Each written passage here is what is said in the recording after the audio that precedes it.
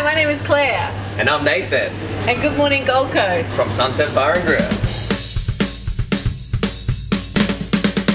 Good morning, Gold Coast. It's Cam. Obviously out here on Broadbeach because the kids have gone back to school, so we've got the beach all to ourselves. How was your long weekend though? Did you get up to much? There was certainly plenty of stuff to do around town, that's for sure. And of course, our cousins across the border in Tweed Heads have had to do that whole daylight saving thingamy-bob, so they've gone forward in time or backward in time or something. Either way, they're no longer in the same time zone as us, so have fun with that. Of course, because we're a Facebook show here on the Gold Coast, remember to like, comment, and share. Modern world, that's how you show you care. Happy Valentine's Day, sweetheart. I liked your post on Facebook. In fact, I went all out this year. I shared it with my friends. But right now it's time to check out today's news. Doing the news on the beach, I love it. An engagement party on Saturday in Upper Coomera took a turn for the worse when the groom-to-be and his brother had a massive argument. Police reckon the groom-to-be tried to stop his brother from leaving by standing in front of his car. Very bad idea. Big brother accelerated, knocked him over and drove off. And the little brother ended up in hospital with some serious internal injuries and fractures to his arm and his leg, while the big brother ended up in court. Also up in Coomera, police had to attend another domestic dispute. What was in the water in Coomera this weekend? What was happening? Some guy had allegedly stolen a mobile phone from a home. And when the police got there, they could hear him yelling his head off in some nearby bushland. So they unleashed the police dog to get him.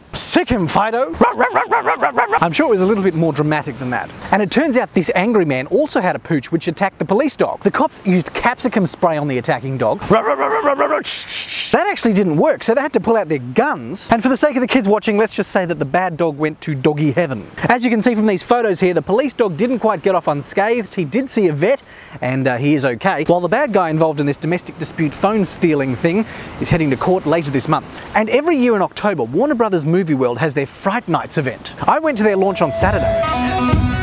This is Fright Night. What do you reckon? Awesome, eh? It's pretty awesome, it's pretty freaky, and it's pretty scary. People need to be here every Friday night, every Saturday night of the month of October. There's heaps of mazes, roller coaster rides, and we got foods, treats, and tons of entertainment, singing and dancing in the beginning and in the end. So it's a party and a party all night long.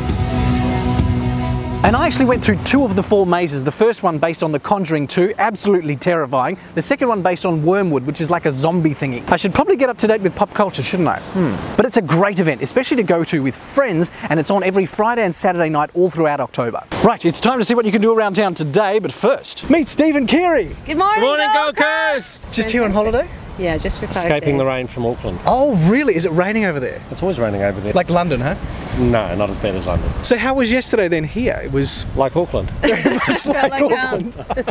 and what do you guys do back in Auckland? I'm in marketing. I actually used to work for Billabong, so you know, hi Billabong! Hey, that's a product plug. Oh no.